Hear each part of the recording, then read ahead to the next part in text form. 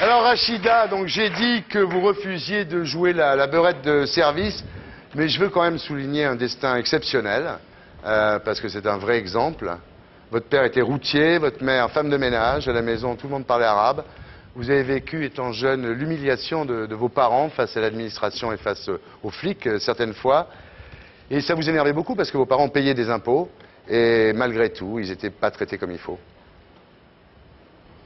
Bah, euh, en fait, c'est le, problème de la langue, quoi. C'est Mm. une barrière. C'est Mm. le seul moyen qu'on a pour. euh, c'est le seul moyen qu'on a, en tout cas, de, de communiquer avec les autres. Et mes parents ne parlaient pas euh, un mot de français. Et moi, très jeune, forcément, j'ai été responsabilisée. C'est moi qui m'occupais de toutes les tâches euh, Ouais. administratives. Donc, je, je me suis retrouvée grande très, très jeune, en fait. Voilà. Alors vous avez grandi dans une cité, mais vous n'avez jamais traîné trop hein, dans, dans les halls de... Non, du jamais. shit, euh, c'était pas votre truc. Vous dites euh, le cliché qu'est-ce que tu casses les couilles, c'est pas pour moi, vous avez dit.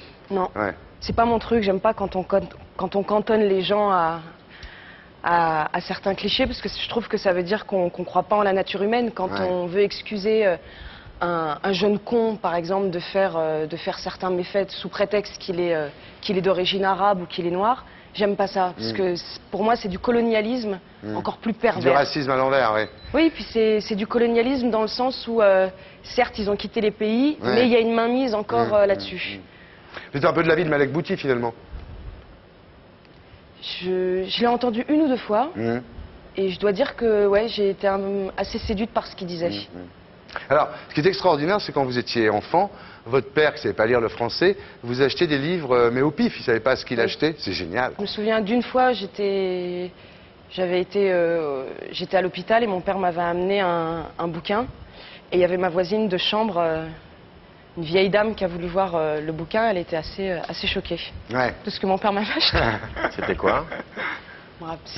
Ah oui, c'était les, les mémoires d'un, mec prostitué euh, et qui racontait toutes ses expériences. euh, voilà. Alors, vous êtes, Rachida, l'exemple d'une intégration assez, assez réussie.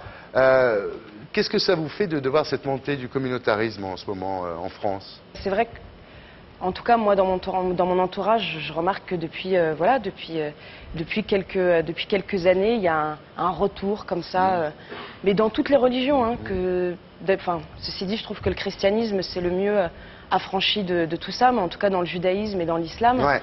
il y a des gens qui, qui se redécouvrent tout d'un coup une passion pour, pour la religion et qui, moi, me, pff, Ouais. j'ai j'ai du mal, quoi. Alors ici, il y a eu des moments très difficiles à ce sujet-là euh, sur ce plateau, notamment beaucoup de débats et, un qui nous a donné un peu d'espoir. C'était un débat entre Leila Chaïd et Elie Chouraki.